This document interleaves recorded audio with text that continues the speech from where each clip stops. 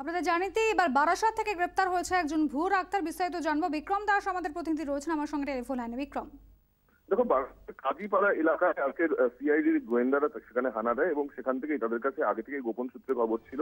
একজন ভুয়ো ডেন্টিস্ট যার নাম কাজী গাফুর আহমদ, তাকে সিআইডি গ্রেপ্তার করেছে এবং তার কাছ থেকে বেশ কিছু গুরুত্বপূর্ণ নথি পাওয়া গেছে এবং সেই নথি দেখে এবং তাকে জিজ্ঞাসাবাদ করে সিআইডি জানতে পেরেছে যে তার কিন্তু কোনো পর্যাপ্ত ডিগ্রি নেই এবং সেক্ষেত্রে তিনি দীর্ঘদিন ধরে ভুয়ো নথি নিয়ে প্র্যাকটিস করছিলেন এবং সেই কারণেই তাকে ঘোলা থেকে গ্রেফতার করল সিআইডি এমনটা আমরা সিআইডি সূত্রে জানতে পারি ধন্যবাদ, বিক্রম।